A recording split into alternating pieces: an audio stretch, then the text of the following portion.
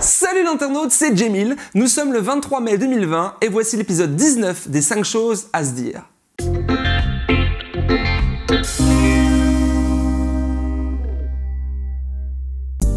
D'abord, un grand merci. Dimanche dernier, nous avons dépassé la barre des 30 000 abonnés sur cette chaîne.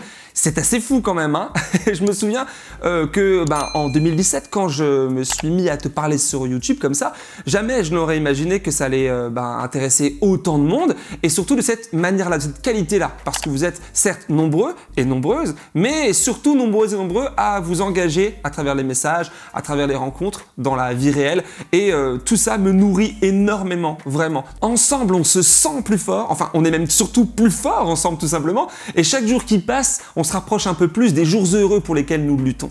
Aujourd'hui, dans cette vidéo, nous allons parler du Conseil d'État qui interdit les drones policiers à Paris, des soi-disant frondeurs, la République en marche à l'Assemblée nationale, de l'essorage de l'hôpital public par Emmanuel Macron qui pourtant tient des discours ben, contraires, mais aussi des clusters, tu sais, des foyers de contamination au Covid-19 dans les abattoirs français, mais pas que, de la farandole de licenciement qui a lieu un peu partout, et d'une bonne nouvelle pour terminer, alors reste bien jusqu'à la fin.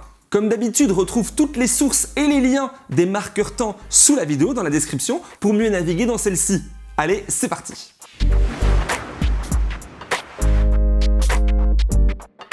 Dans ma précédente vidéo, d'ailleurs suite à laquelle vous êtes plus d'un millier à nous avoir rejoints ici, je parlais des centaines de drones policiers tout récemment commandés et qui servent déjà de contrôle de la population depuis plusieurs semaines dans le cadre du confinement. Bien que pas du tout nouveau entre les mains des forces de l'ordre qui les utilisent souvent depuis plusieurs années pour surveiller par exemple les manifestations sociales, les policiers français font bien moins joujou avec leurs drones que leurs homologues états-uniens ou britanniques. Enfin ça, c'était avant la crise du Covid-19, hein, parce que depuis mars, depuis le confinement en France, les drones policiers pullulent de partout et inquiètent légitimement les défenseurs des droits humains. L'association La Quadrature du Net et la Ligue droits de l'homme avaient même déposé un recours auprès du Conseil d'État qui, lundi dernier, s'est prononcé en faveur de leur demande. Il est désormais interdit à la police d'user de leurs drones pour encadrer le déconfinement. Victoire mais nuancé, hein Alors oui, la décision d'interdiction est entrée en vigueur depuis lundi, mais ne concerne que le territoire de Paris, Paris intramuros. Hein Au-delà du périphérique, là où vivent ceux qui ne sont rien, que Macron aime mépriser et que les flics aiment tabasser, hein, nous, eh bien les drones sont toujours les bienvenus. Pareil pour tout le reste du pays, de Lille à Marseille en passant par Nice, Toulouse, Bordeaux ou Lyon. Ce qui a permis cette décision d'interdiction est la violation de la vie privée par le fait qu'un drone équipé d'une caméra peut filmer en grand angle tout ce qu'il survole. Les derniers modèles commandés possèdent même le pouvoir de relever la température d'un corps humain situé à 4 mètres de distance avec une précision de 0,5 degrés. Aucun texte de loi n'encadre ces possibilités techniques, ce qui permet au Conseil d'État de prononcer l'interdiction à Paris. Sur Twitter, la Ligue des droits de l'homme dit justement espérer que cette décision soit très vite généralisée sur toute la France. Mais à l'heure où je produis cette vidéo, ce n'est pas le cas. Et puis, c'est pas forcément systématique. Bien que cette décision, et c'est là la bonne nouvelle, crée une jurisprudence dont on va pouvoir se saisir pour ailleurs, dans les tribunaux euh, sur le reste du territoire, faire appliquer bah, la même interdiction dans plein de territoires, eh bien, c'est pas automatique. C'est-à-dire, euh, par exemple, là, souviens-toi des décrocheurs de portraits, tu sais, de Macron dans les mairies. Eh bien, à Bordeaux, ils ont été relaxés, à Strasbourg, pas forcément, à Lyon, etc. Enfin, tu vois, tout dépendra de l'endroit. C'est pas systématique, c'est pas obligatoire. Et puis rappelons que la dérive vers une société de surveillance par des milliers de caméras qui envahissent l'espace public est en France déjà fort entamée. Châtelet, la plus grosse gare souterraine de Paris, qui est aussi la plus grosse gare souterraine du monde, elle voit passer 750 000 personnes par jour, est actuellement un immense laboratoire effectuant des tests de reconnaissance faciale par vidéosurveillance, pour notre sécurité.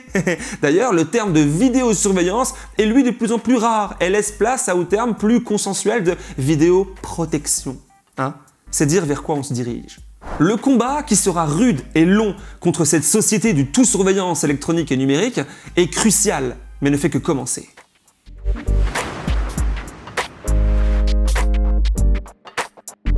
Un compte-goutte lent mais régulier, le groupe majoritaire La République En Marche, l'AREM, à l'Assemblée nationale, perdait un membre à chacun des soubresauts, comme ça à chaque soubresaut politique, depuis des mois. Un départ volontaire par ici, un remerciement sec par là, et ce qui devait arriver arriva.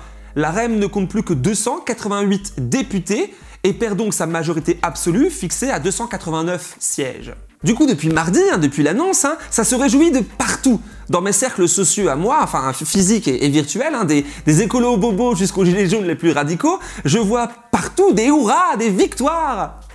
Je sais bien, je comprends qu'on a besoin, un mois avec, de bonnes nouvelles. Mais là, il va falloir tempérer. Parce que oui, des bonnes nouvelles, il y en existe, bien évidemment. Mais ici, euh, non.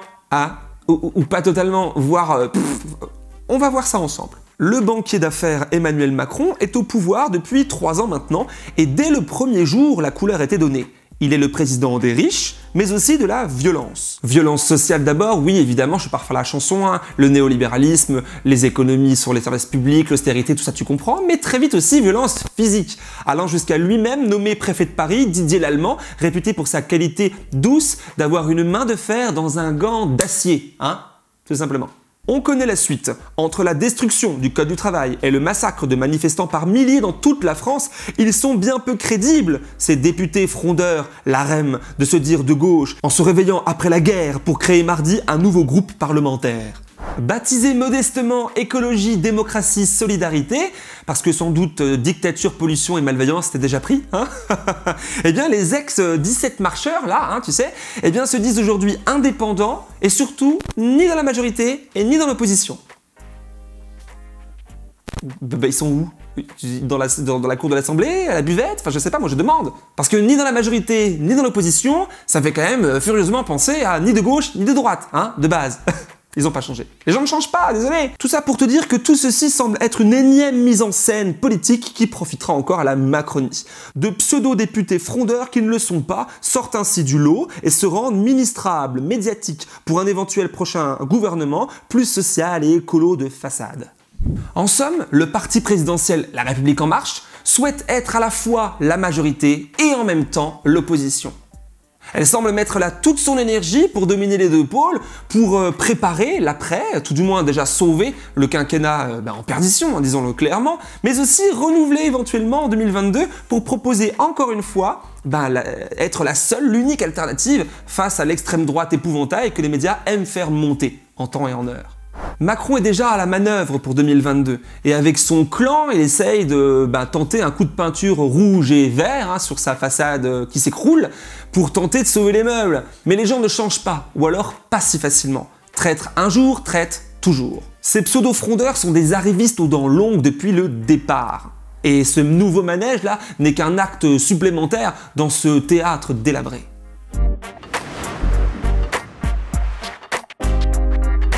En parlant de théâtre délabré, celui du service public français n'est pas mal non plus, hein, dans le genre.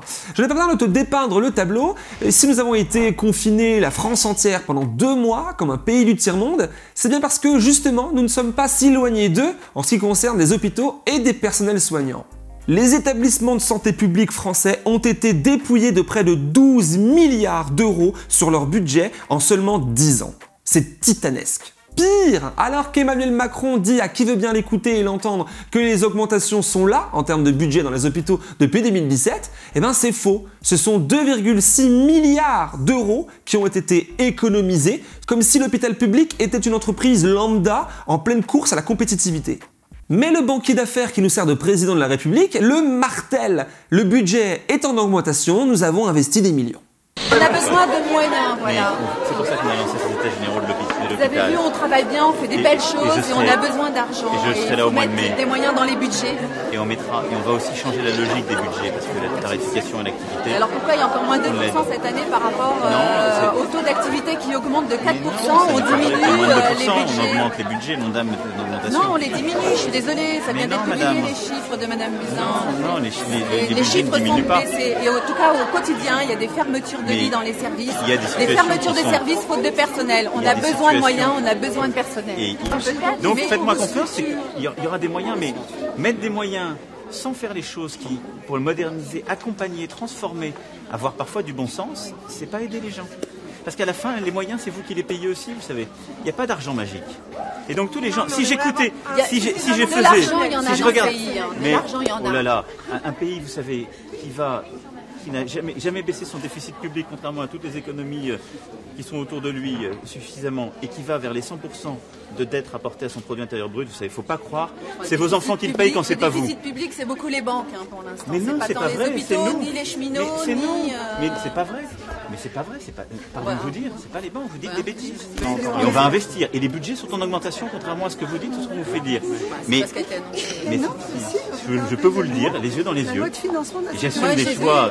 3-4% d'augmentation de croissance d'activité et moins 2% de budget pour la santé cette année. L'activité des hôpitaux en France a baissé de 2%. Il y, a, il y a moins d'activité dans les hôpitaux alors qu'on augmente les budgets. Il n'y a pas moins d'activité, il y a des patients qu'on ne peut pas. Non, mais c'est les chiffres que vous donnez Mais les budgets sont en hausse. As-tu noté la suffisance, le mépris, l'inconsidération de ce personnage? Il va jusqu'à même oser de parler de bon sens. Ça veut dire quoi le bon sens hein? Au lieu d'écouter cette infirmière, cette, personne qui sait de quoi elle parle, puisqu'elle y travaille. Hein? Mais non, il n'attend que l'occasion pour lui couper la parole et lui répondre sans l'écouter que ben non, les budgets euh, augmentent, c'est faux ce que vous dites. Alors, si les budgets augmentent, pourquoi elle fait état comme tout le monde, comme tout le monde, de la fermeture de lits et de services dans les hôpitaux français? Fermetures qui nous ont conduit à la pénurie de soins et donc au confinement généralisé. Mais à l'inverse, est-ce que Emmanuel Macron ment simplement et éhontément? Eh bien, c'est Jean-Luc Mélenchon qui nous fait la meilleure démonstration. Écoute bien, c'est rapide. Les urgences, c'est maintenant dans les hôpitaux. Alors? Agnès Buzyn a mis, dit-elle, 550 millions d'euros sur la table pour réorganiser les urgences. C'est suffisant oh. ou pas? Et c'est qui là le journaliste? C'est moi ou vous? Ah non, je vous pose Madame Buzyn a mis 750 millions. Ah, Neumann a oublié. Virgule dans les quatre prochaines années. Sur quatre ans, vous avez raison. Merci. Très bien. Madame Buzyn, l'année dernière, virgule. Répondez-moi. A retiré un milliard sur une année. Et maintenant, elle vient mettre 750 millions sur quatre ans. Et nous, on devrait dire bravo, Madame Buzyn. Quelle... Madame Buzyn se fout de nous. Il y a des milliers de gens qui ne peuvent pas être soignés. Il y a des milliers de gens qui sont en burn-out parce que euh, burn-out, ça veut dire être crevé au boulot, quoi. Qui sont épuisés. Et vous savez, le plus dur pour un, pour un, pour quelqu'un qui travaille dans ce métier, c'est de pas pouvoir faire bien son métier. C'est ça qui les écœure plus que tout. Maltraiter les gens qui sont santé bien traités. Et oui, en effet, vu de plus près et sous cet angle, eh bien l'infirmière dit vrai, puisqu'elle vit bah, réellement, hein, c'est vrai, fermeture de lits euh, d'hôpitaux et de services, mais Emmanuel Macron aussi dit vrai, ne ment pas, enfin pas totalement, puisqu'il ne dit pas toute la réalité, comme Jean-Luc Mélenchon vient de nous en faire la démonstration, mouchant au passage le journaliste euh, Laurent Neumann, qui lui avait omis aussi de dire toute la vérité, hein travestissant alors la lecture même de cette réalité. Car quand on enlève un milliard d'euros de budget sur une année et que dans le même temps on donne 187 millions, eh bien ça en revient à diviser le budget par 5, par plus de 5. C'est un scandale. Car dans le même temps, bah, la population vieillit, grandit, et donc les besoins en soins aussi. Ça veut dire que même en ne touchant pas le budget, en le laissant pareil chaque année, eh ben, il manquerait de l'argent. Hein à ce niveau, c'est de la malhonnêteté et de la manipulation pure et simple. Alors que les hôpitaux publics manquent frontalement de moyens financiers et donc humains à cause d'objectifs comptables proprement insoutenables, les salaires des personnels soignants, eux aussi, sont à revoir à la hausse. Ils font partie des plus bas d'Europe. C'est une honte pour la France. Donc j'ai une question. Quand ceux qui ont hier créé cette situation nous singent aujourd'hui un mea culpa et nous promettent de changer, est-il simplement raisonnable de penser à les croire?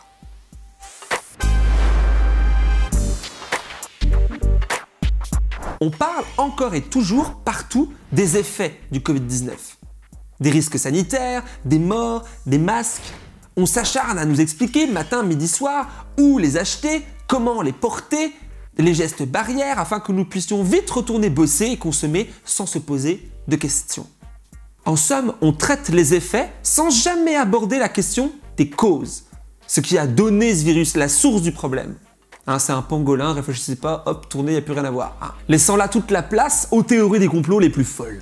Alors que l'on sait scientifiquement que quasi chaque épidémie, quasi chaque pandémie est déclenchée de par notre irresponsabilité envers les écosystèmes que nous surexploitons, tel un prédateur sans vergogne, assoiffé et aveugle. Mais entre le fait de couper un arbre et de raser toute une forêt primaire, les conséquences sanitaires et écologiques sont radicalement différentes, opposées. l'étalement urbain qui fait se déplacer les animaux sauvages restants et leurs virus, les mettant en contact avec l'être humain via l'agriculture et les animaux d'élevage forcément industriels, forcément en nombre incroyable, font naître de nouvelles maladies et le système mondialisé les transforme en pandémies. C'est aussi simple que cela. Mais le reconnaître eh fait entrer le système mondial d'organisation humaine en dissonance. Hein?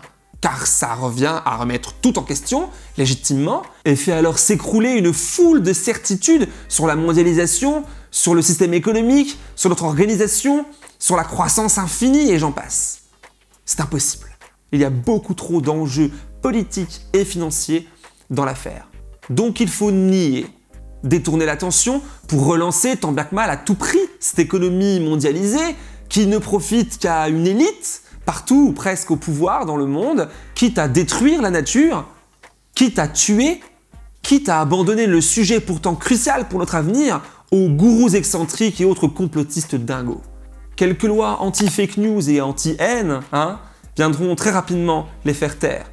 Et avec eux, eh bien, toutes les autres personnes, elles réellement lanceuses d'alerte, scientifiques, journalistes et autres vulgarisateurs qui œuvrent pour l'intérêt général. C'est l'hécatombe. Alors comment sérieusement s'étonner d'observer partout en France et dans le monde, depuis le déconfinement, depuis quelques semaines, l'explosion de clusters, grappes en français, foyers de contamination du Covid-19 dans les abattoirs et usines de transformation de viande? De l'Allemagne aux USA, en passant par l'Asie, dans ces lieux d'entassement des animaux d'élevage destinés à la consommation humaine, il est impossible de respecter les gestes barrières, ni même les règles d'hygiène en général. Souviens-toi des affaires qui ne cessent de s'aligner, tellement la cadence de production de viande est élevée.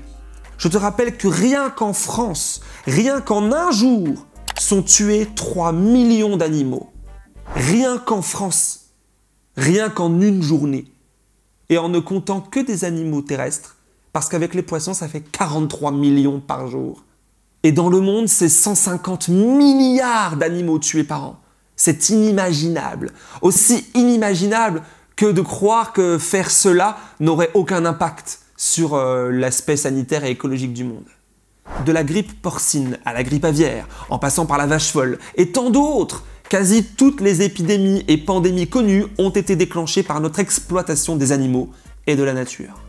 Non, non, il n'y a pas encore eu de grippe euh, et de pandémie due aux courgettes, hein, ou aux lentilles, ou euh, aux carottes. Hein.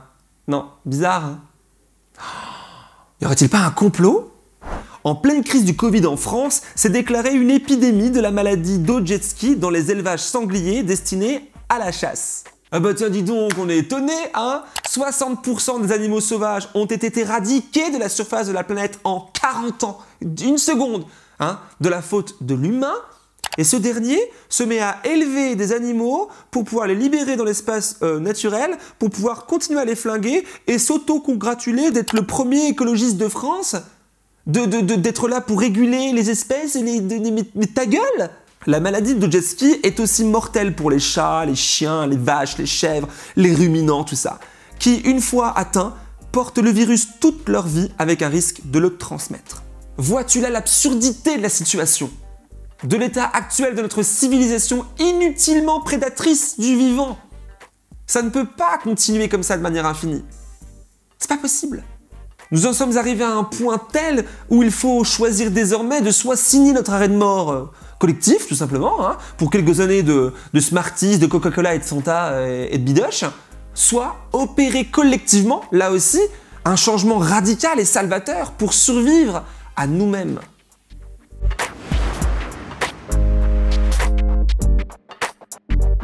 Et voici enfin l'heure de la cinquième et dernière chose à se dire, la bonne nouvelle, hein, la good news, la chose qui est censée nous redonner foi, nous regonfler comme ça hein, et nous éviter de nous pendre la première poutre qui passe. Mais avant ça, les trois dernières choses bien pourries. À l'instar des 7 milliards d'euros d'argent public offerts à Air France, juste avant l'annonce d'un plan de licenciement, je t'en avais parlé dans l'épisode 18, l'État macroniste réitère avec Renault en leur offrant à eux 5 milliards d'euros pris dans nos poches et sans contrepartie. Du coup, Renault annonce sa volonté de fermer carrément 4 usines en France. L'État français n'est plus actionnaire de Renault qu'à hauteur de 15%. Le reste, c'est du privé privés habituellement allergiques au fait que l'État vienne se mêler de leurs affaires, enfin sauf pour donner de l'argent gratuit et sans gaver. Toucher des milliards en aide publique pour sauver l'emploi et licencier en même temps, hein, c'est aussi le cas chez La Halle, Airbus et Conforama mais aussi chez Airbnb ou encore chez Uber, qui se sont contentés d'un appel vidéo collectif pour licencier 3500 personnes d'un coup. Côté Rolls-Royce, qui fabrique des moteurs d'avion, c'est 9000 licenciements Le massacre touche même BFM TV, qui a prévu de diviser par deux les contrats de pigistes, d'intermittents et de techniciens. Bizarrement, aucune baisse de salaire n'est à noter pour Ruth Elkrief ou Christophe Barbier, hein sans doute qu'ils nous sont bien trop indispensables. Pour finir ou pour t'achever, partons aux USA, au royaume de la santé privatisée et du chacun pour sa gueule, où plus d'un million et demi de personnes ont perdu leur emploi dans le secteur de la santé. Les hôpitaux eux-mêmes, pourtant dépassés par la crise sanitaire, ont licencié 135 000 employés non rentables financièrement, justifiés par la baisse des patients non Covid. Tout le système de santé états-unien est basé sur un modèle de économique privé et de croissance infinie, et s'écroule au premier éternuement. Et voici l'heure de la bonne nouvelle du moment, enfin, enfin, enfin, enfin, selon moi, hein, c'est ma vidéo en même temps. Après une arrestation illégale et violente à Marseille, des policiers condamnés à de la prison ferme. Oui, je sais, ça date du 7 mai, hein, mais bordel que ça fait du bien. Hein. C'est pas comme si que ça arrivait tous les 4 matins, hein, contrairement aux violences policières impunies. Tu trouveras les sources et les détails sous la vidéo comme d'habitude, mais je vais quand même te planter le décor macabre. Le 12 avril à Marseille, deux policiers, Michel, un ancien plutôt expérimenté, et Mathieu, un nouveau, tout droit sorti de l'école de police, ont arrêté illégalement un jeune afghan, un réfugié afghan, dans le cadre du confinement. Il n'avait pas son attestation sur lui.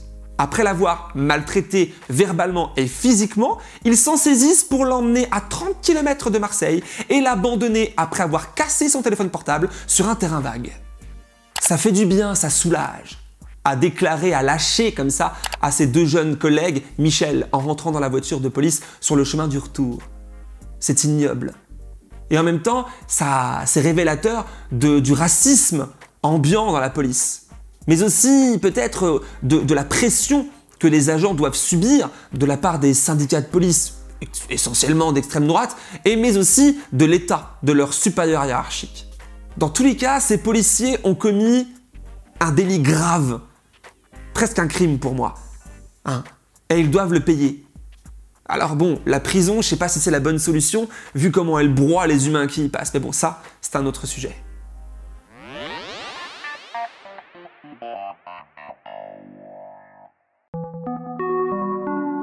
Il y a comme un parfum sacrificiel dans l'air.